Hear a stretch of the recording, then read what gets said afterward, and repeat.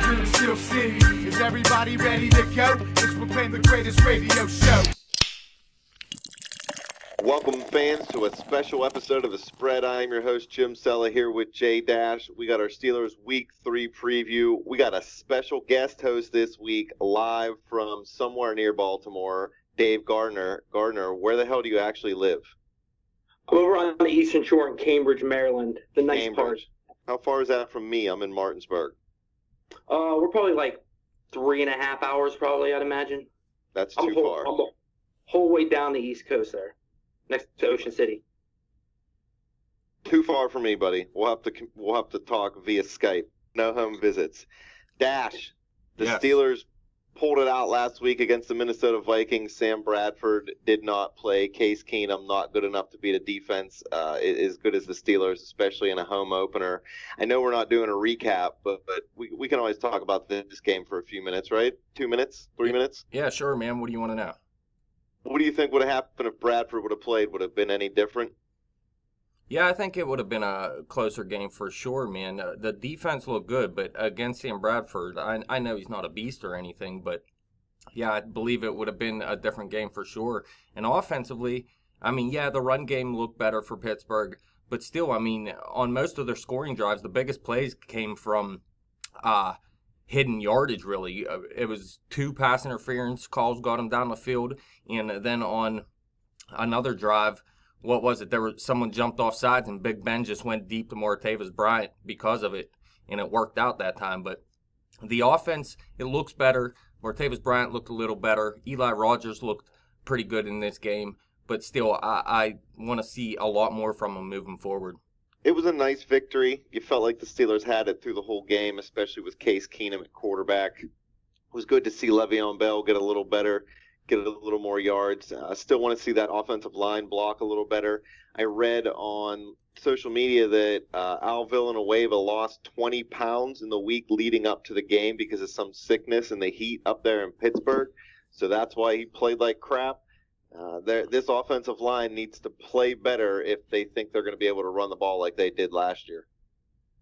Yeah, you you gotta uh, look at Minnesota too. They're a very good run defense, so I think they did a pretty good job. It does got to get better, like you stated, but I think they did a pretty good job considering the opponent and everything. What did uh, Le'Veon end up with? Eighty some yards, 87, I believe.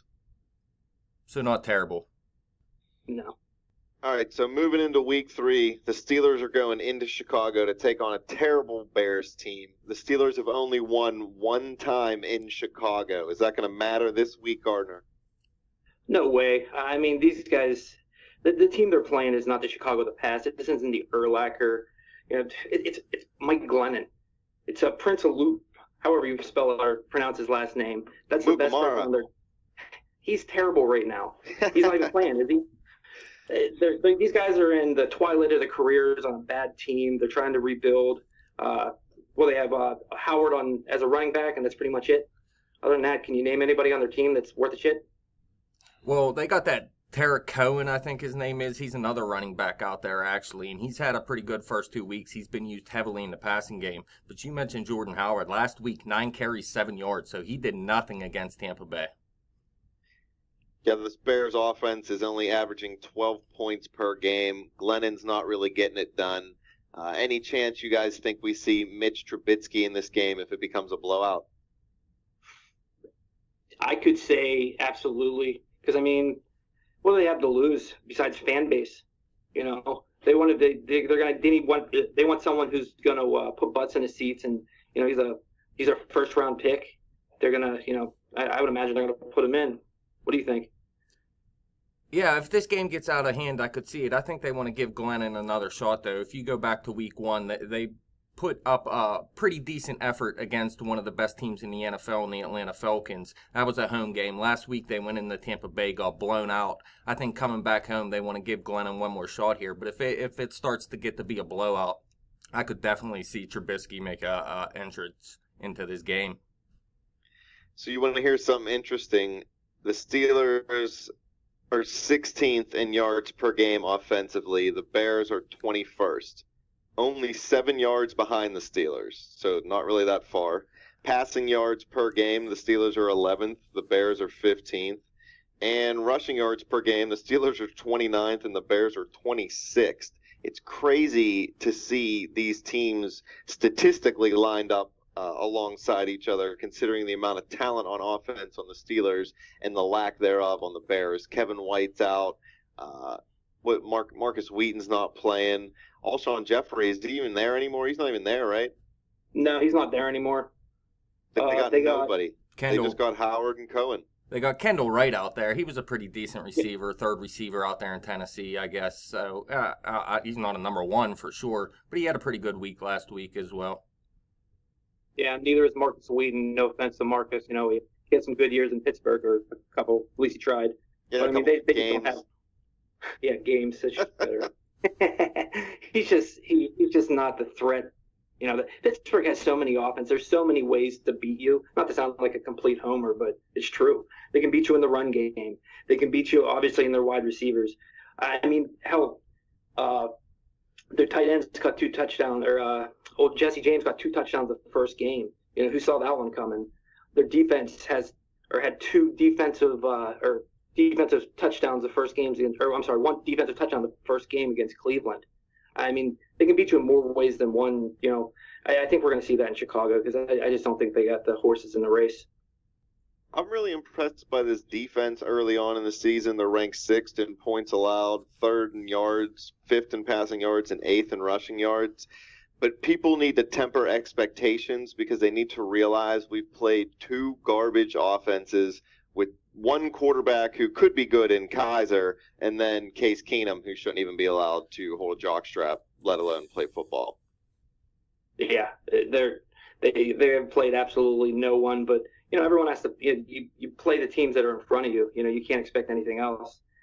Yeah, I agree, but I, I don't think this week they're going to be playing that great of a quarterback either. Uh, maybe uh, Joe Flacco is going to be the first respectable quarterback that they're going to play, and it's not like he's great either. Dude, Speed, Their defense looks all right though. Dash, can they keep getting to the quarterback at the same rate they're doing now? They have nine sacks through the first two games. Well, what they have seven sacks in that first game, just two sacks last week. Yeah. So yeah, I'm more or less the two to three sack per game range. Uh, Obviously, they're not going to come out and get seven. Yeah, as long as they stay healthy, I think they can get to him two, three, maybe four times per game. Well, not four times per game, but four times every now and again. Uh, I think they can get to the quarterback, but uh, they got to stay away from these injuries. We already seen a few. Yeah, TJ Watt has that groin injury. He's still up in the air for the week three matchup. Anthony Chickillo, interestingly enough, came in and played last week when Watt came out instead of James Harrison. Uh, Dash, I, I'm, I messaged you like few plays after it happened. You know, we were both pretty interested in seeing Chickillo out there over Harrison. Social social media erupted after the game. They were pissed that Harrison didn't get in. People said Harrison left the locker room without even talking to reporters in that game. Do you think he's upset he did not play a single snap in that week two matchup? Well, I'd be unhappy, wouldn't you? I would be. Tomlin said that they're going to use James whenever they need him, and he knows that there'll be a big moment and a big game, and James will come up in a big way. Well, I mean, I said So- that earlier this season. You want to use him against Baltimore. That's when he plays at his best. But still, you want to get him some playing time during the season so when you do need him later in the season, he's ready. You don't want to just sit him for four weeks and then say, go out there and get it done.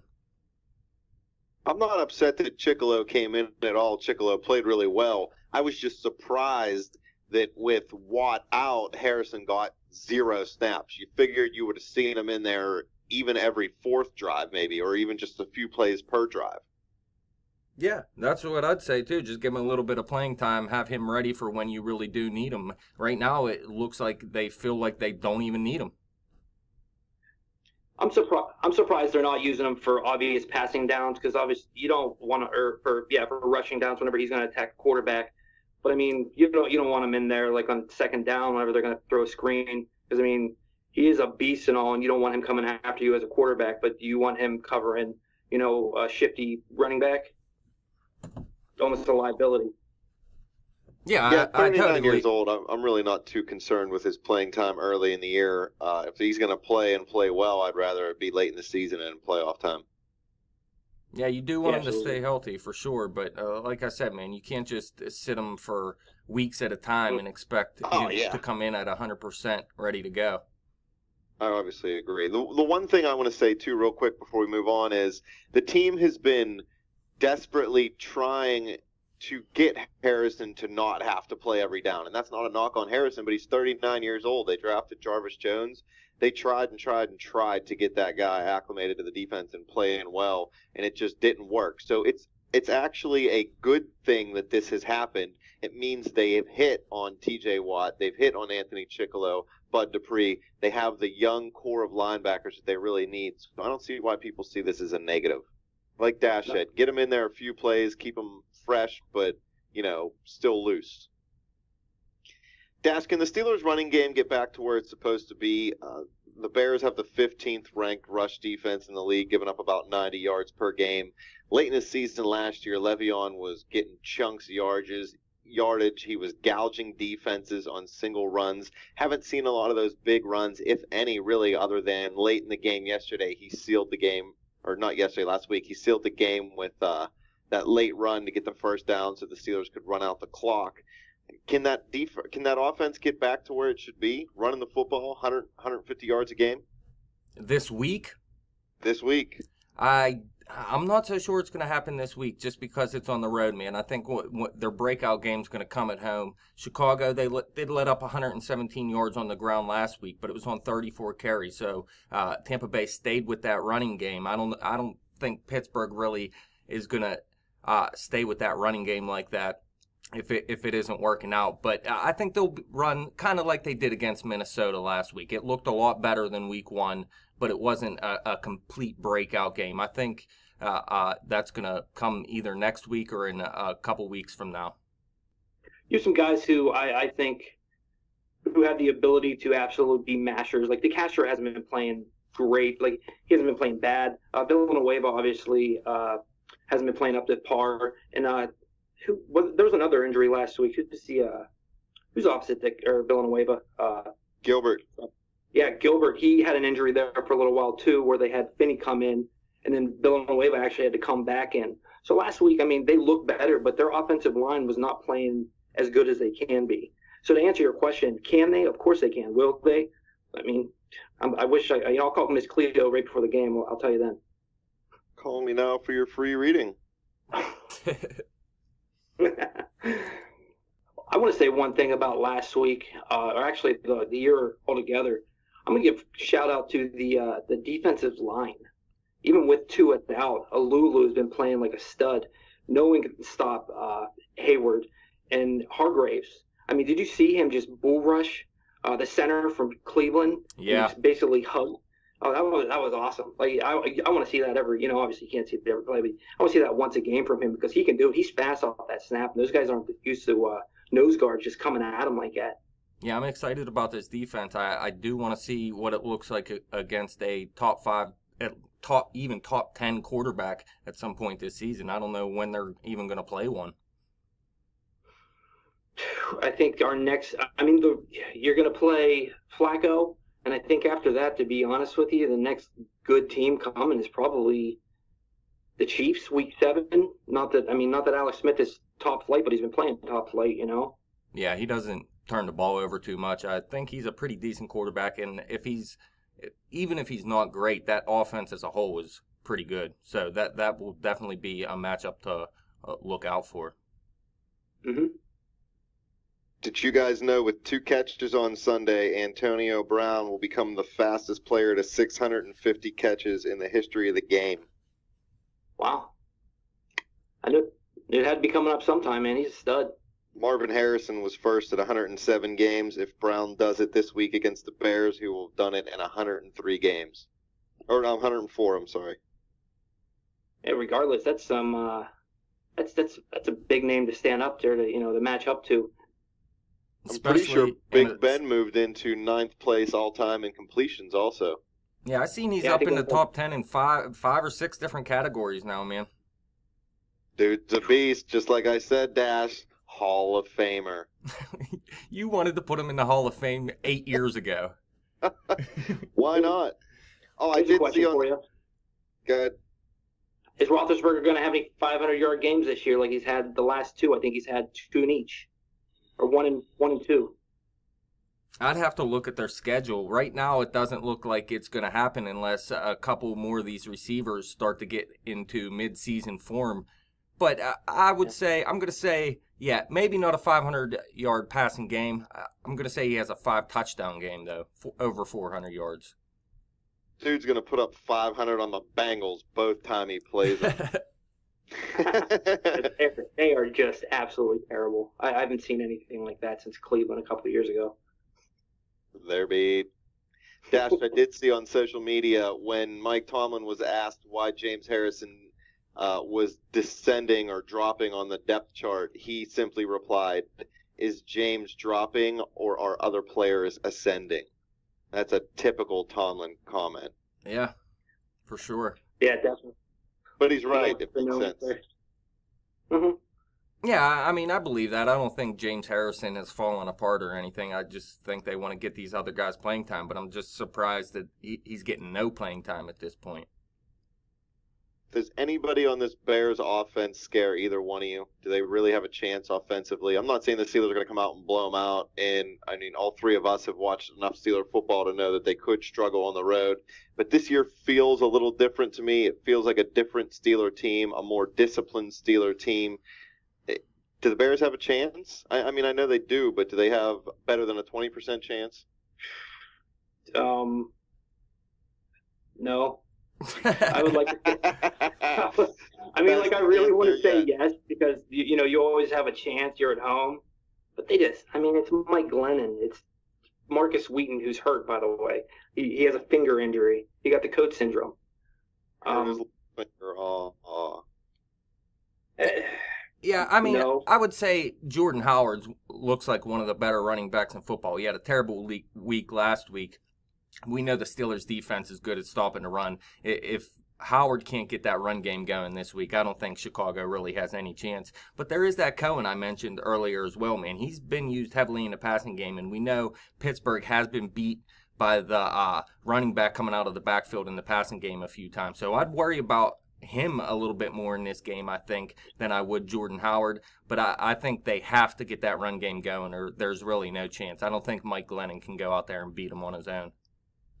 Yeah, I think the Steelers' defense is a little different than the last few years. They're better, they're stronger, they're faster, they're younger. So even if the offense struggles, I just I, I can't see the defense really letting the Bears run wild on them. They're yeah, not Chris I, Hogan, brother. I think they're going to have eight men in the box the majority of the time, and they're going to try to make Glennon try to beat them, and I I just don't see it happening.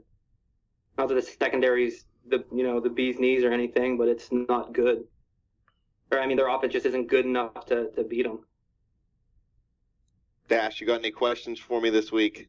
Yeah, I'll give you guys three questions here. First question, I already mentioned Chicago had no run game last week. The Steelers have been good against the run this season. Jordan uh, Jordan Howard and Cohen together had 20 yards rushing on 16 carries.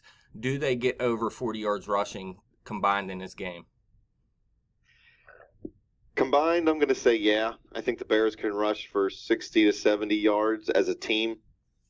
Singularly, I don't think either one really has a chance to get over maybe 50, and that's if they get used exclusively with the Howard injury.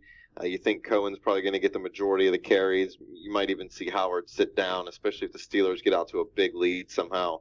Uh, so no, I, I, don't think that that they're going to. Eh, 60 to 70. That's it. Uh, yeah, I'd have to say 60. 60 sounds about right. Between the two of them, 60, maybe maybe 70, somewhere in between there. Mike, I can't see it being any more. Mike Glennon had over 300 yards passing that last week, mostly because they were playing from behind the whole game and they had to pass, and it's a reason why they didn't have much rushing as well. Does Mike Glennon get over or under 250? Oh man, that's a good one. Uh, it's I want to say under because you think the Steelers should be able to hold them, but at the same time, if they shut down that run game then the Bears are just going to be forced to throw. And if he ends up throwing the ball 40 or 50 times, I mean, just by the rule of numbers, he, he's probably going to get up there, especially in garbage time. 250 dash, I say he gets like 270 ish, so I'm going to go over again. Let's see. The first game they had about 235. The second game they had, their first game they had, yeah, somewhere between 210 and 230. I'm gonna give them 225. I think that's what they get in the air. I, I honestly don't think they're gonna score. They didn't score any points last week until the fourth quarter in garbage time. Uh, they're they're not gonna get it. I, I say 230 tops. And they're not going to score a touchdown. They'll probably score one touchdown at some point just because it's you have to eventually. They'll give up like a draw play or something stupid. I think the Bengals. I think Antonio Brown is the only player with over 100 yards in a game so far this season. Does anyone else do it in this game for Pittsburgh? Yeah, I think Le'Veon comes out and has a decent decent game. Um, maybe not 100 yards rushing, but I think he's going to get 100 yards from scrimmage. I think you're going to be able to see Bell start getting more involved in the offense. He's been there a few weeks in practice now. He's been there for two games. You're going to start to see him do what he normally does. Uh, this offensive line, you got to think, is going to come together at some point. If Villanueva can get some strength back and put some weight back on, they should really be right back to where they need to be. So I'm going to say Le'Veon Bell has like 115, 125, somewhere in between there, yards from scrimmage. It's really going to depend on who the defense gives them because the the thing is with Pittsburgh's offense is that you can't guard everybody. Um, I would like to see, you know, I, I think Le'Veon's up. I think it's, it's going to be his game because they're not going to let Bryant do what they did to um, the Vikings last week, and they're not going to, you know, they're obviously going to double team Antonio Brown because if you don't, you're you're kind of dumb. So something's going to open up, and it's probably going to be Le'Veon Bell out of the backfield, you know, catching passes because that's what he does best. That's what that's why he's getting paid, you know, what twelve million dollars a year this year, and that's why he's asking fifteen or seventeen because he's that good out of the backfield. He can make big plays happen, explosive plays, and uh, yeah, I think Le'Veon Bell, but always obviously you could do Bryant or Bell or Brown as well. Keys to victory. Dash. This is a trap game, I think. Not that they're going to lose, but it's it's got that feel of a trap game. The Steelers so far, they feasted on quarterbacks who weren't too good. They put consistent pressure on the quarterback. Uh, seven sacks the first week, two sacks last week. Uh, they still had, I think, almost 10 quarterback pressures in that game against the Vikings, too. So you don't always need to sack the quarterback as long as you're getting in his face, forcing him to throw before he wants to, forcing him to throw off his back foot, making him move around. That's all you got to do to beat a quarterback who's really not that good. Uh, Kizer Young, Keenum garbage, Glennon garbage. so if the Steelers want to win this football game, all they got to do is keep consistent pressure on Glennon he's like a statue back there. He's probably the least mobile starting quarterback. Ben Roethlisberger is old as hell, and his knees are beat, and he can run faster than Glennon if he's running backwards through a tar pit. I mean, it's it's hilarious to watch Glennon try to move. I think the Steelers defense just needs to put pressure on him, run up the middle on him, just get there. He'll he'll win the game for Pittsburgh because he'll throw mad pick six. I think pressure of the top or the front seven is yeah, you're absolutely right. It's it's it's those guys that are in the trenches that are going to win this game because in today's NFL, you can't cover someone for you know four or five seconds. It's almost impossible. You know with holding penalties and, and pass interferences. So if those guys can get the sacks or you, know, you can pressure the quarterback, you can stop the run game. I mean they'll win. I mean they'll win almost every game with the offense they have. Yeah, I, I do want to see this offense put together a couple 70, 80 yard drives in this game. Uh, just look a little bit cleaner than they have the first two weeks of the season. But I think def- defensively, all you have to do is shut down this run game. It, the the Tampa Bay Buccaneers showed it last week. They they shut down that run game for Chicago and they completely blew them out. Mike Glennon cannot beat you on his own, like I said earlier. So I think the key to victory here is just make sure you don't let Howard get going, and we'll see what this Cohen does in the passing game or whatever. But just make sure the run game doesn't beat you, and you should be all right. Real quick question here for you guys. So right now, Anthony Chickillo and T.J. Watt lead the, the team with sacks. Who leads the team with sacks this week? Jim. Hmm. I'm going to give it to Bud Dupree. I think he gets the quarterback a few times. Be nice. Yeah, I'd like to see Hargrave get to him up the middle as well, but I'm going to go with Cameron Heyward. I'll say he gets to him once or twice. there is a chance that Watt plays in this game, and Tuitt, uh, definitely more of a chance that Watt plays. I did talk to our athletic trainer, Brandon. He says, eh, you know, obviously he didn't diagnose or, or evaluate Watt, but he says with groin injuries, it's going to be tough for a guy to come off the edge and set the edge and have that quick first step. So don't be shocked if you don't see either one of those guys play. So, what's your final prediction here? Well, like I said a little bit ago, I think this is a different Steelers team than it's been in years past. Uh, the, the games where they played down to their opponent, I think the defense, especially late in those games, was really letting up. Uh, big plays downfield for the other offenses kind of screwed them. It's not that defense this year. They're so much better than they were. I, even if the offense sputters, I don't, don't think this defense is going to let them lose. Uh, but a little closer than most people think. But I'm going to say Pittsburgh 28, uh, Chicago 14. Let's see. I had uh, let's see, about 260 total yards. Um, I think they'll get a touchdown. I think they'll get two field goals. Pittsburgh. Uh, I don't think it's going to be that breakout. They, you know, they could get 30 at any game, but I just don't think they will. I want to say 27-16.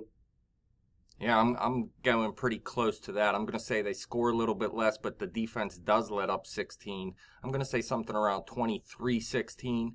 But I tell you what, if they play like they did against the Cleveland Browns in Week One, this could be a loss. Uh, I mean, there's no doubt about it. I think the Chicago Bears are a little bit better than Cleveland still. I know everybody's saying Cleveland's on the rise a little bit, and they may very well be, but it, you can't go into Soldier Field and play like you did in Week One against Cleveland, or this could be a loss. So it could be a closer game, but I'm going to say 23-16. Yeah, I think the defense is going to get a touchdown itself this week. Glennon's a pick six machine. The dude's beat. He did throw two picks last week. It's because he sucks. It is because he sucks. I want to see Ryan Shazier get a pick six. He's due. He's very. uh Need to put Willie Gay in. Yeah, Willie Gay gets those mad pick sixes. Ryan Shazier is very aerodynamic because he's got no body hair. Fact. Anything else, Dash? Nope, that's it, man. Gardner, anything else on your end? No, man. Thanks for having me on. Believe it. You're you're welcome to come on the spread anytime. Fans, if you have any questions or comments for us, hit me up on Twitter at bet underscore the spread or hit my actual Twitter up at BetJim2Win. Check out our Facebook page at facebook.com slash betthespread. Come back to YouTube, click subscribe. Over 3,000 views in last week's episode in only, what, two hours, Dash? We're ballers.